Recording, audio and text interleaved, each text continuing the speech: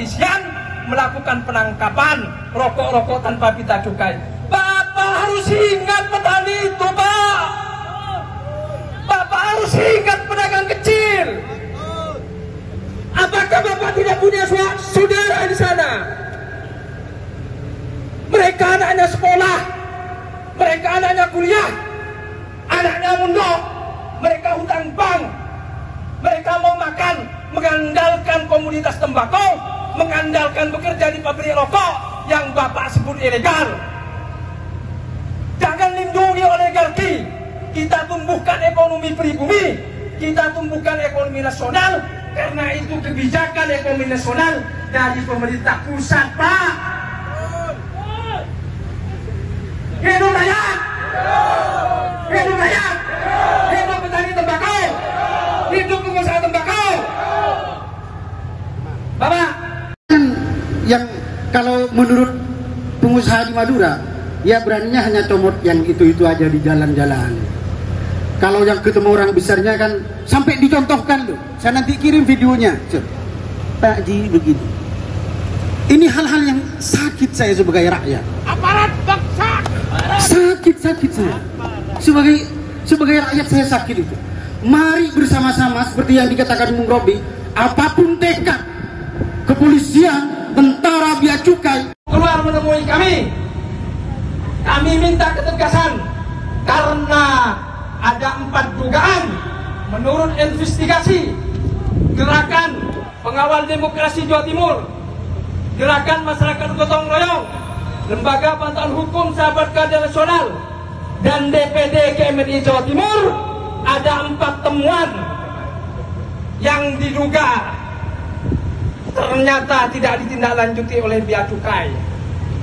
Ada oknum yang diduga bermain-main di tindak pidana cukai ini.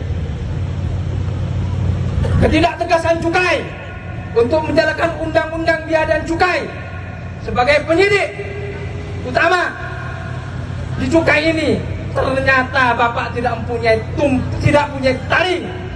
Bapak tumpul kalau memang tidak sanggup, berikan ke polisi, Pak.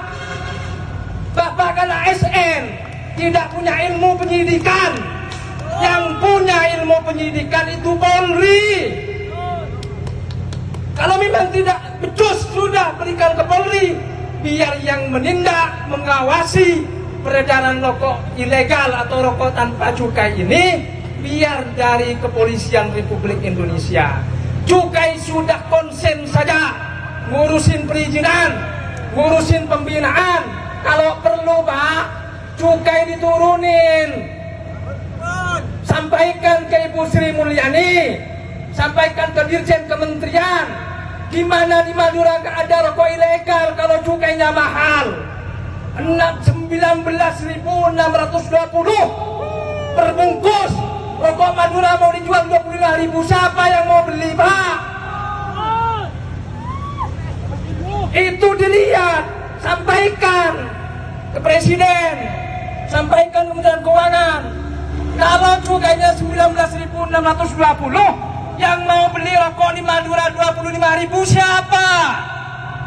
Mau bersaing dengan rokok-rokok yang sudah berjalan 50 tahun milik dari oligarki ini. Tidak mungkin pak. Jadi biarkanlah masyarakat Madura membangun ekonominya sendiri. Tidak perlu ada razia di mana-mana. Kalau memang itu ilegal, Bapak datang. Turunkan cukainya, bina dengan baik. Awasi anak buah Bapak di Madura itu. Jangan-jangan ada oknum yang bermain-main dalam proses pengawasan dan penegakan hukum. Kalau Bapak TNI AR, Bapak Polri hari ini hanya menjaga kita. Sehari ini, Anda nyampe sehari. Bagaimana kita, Bung Faisal, Bung Saiful, Bung Robi dan adik-adik yang lain mengawal kesejahteraan masyarakat Madura, mengawal proses takut ditangkap di mana-mana, mereka mengeluh kesahnya ke Bung Faisal, ke kami. Kami juga nggak dibayar. Kalau bapak-bapak dibayar oleh negara daripada rakyat, Ya cukai jangan pakai kacamata kuda pak Jangan pakai kacamata kuda